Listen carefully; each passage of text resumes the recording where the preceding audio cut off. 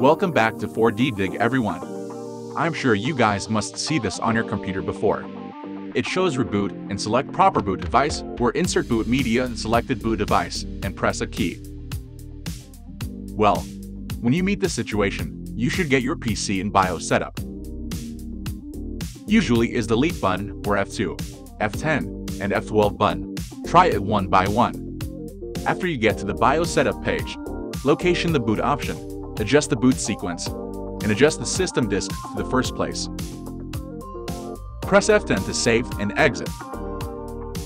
Now you can check if the PC is working normally or not. There are three reasons that usually cause this problem occurs. The first one is external devices connected to the computer do not work correctly. You should disconnect all external devices and then power up your PC again, check if the problem's still there or not.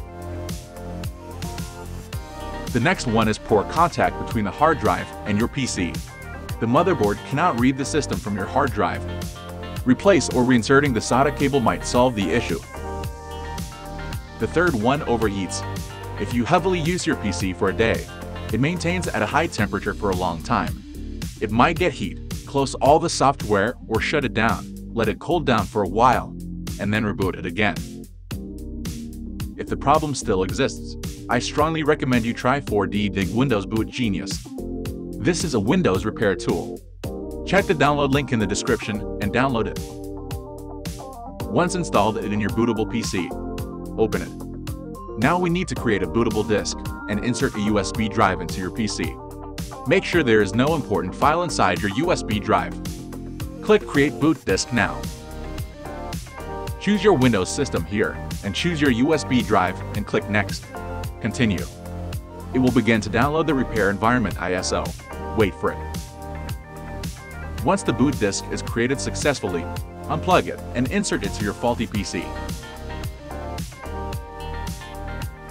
Now start your PC and press the F12 or ESC key during the start process to get in the boot.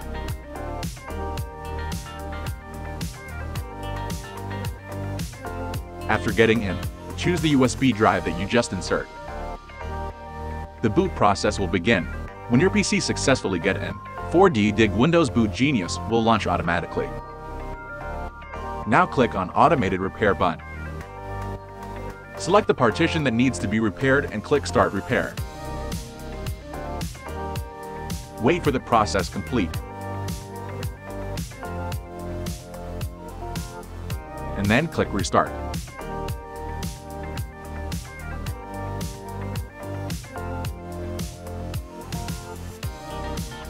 Now you will see your PC is running normally without the select proper boot device issue.